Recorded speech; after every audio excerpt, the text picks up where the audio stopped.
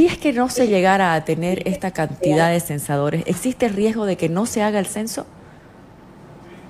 Yo creo que de la forma que estamos avanzando en las tendencias y viendo el comportamiento de algunas autoridades, no puedo generalizar, a nivel nacional, no puedo hablar específicamente de una región porque, e insisto, esto es un proyecto nacional, vamos a llegar a la meta de censistas.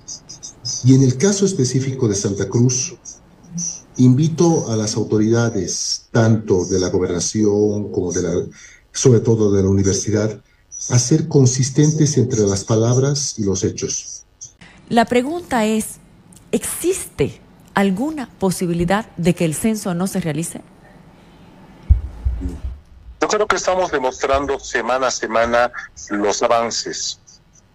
Lamentablemente, destacar que en la prensa cruceña por algún motivo no existe repercusión en torno a todas las conferencias de prensa semanales que emitimos de aquí desde la ciudad de La Paz.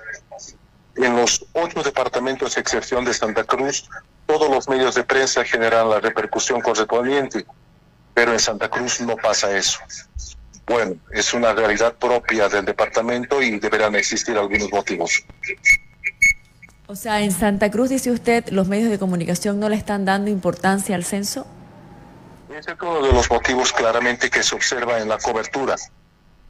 Porque, por ejemplo, cuando brindamos conferencias de prensa, no se generan las repercusiones mediáticas correspondientes en los medios de comunicación cruceños.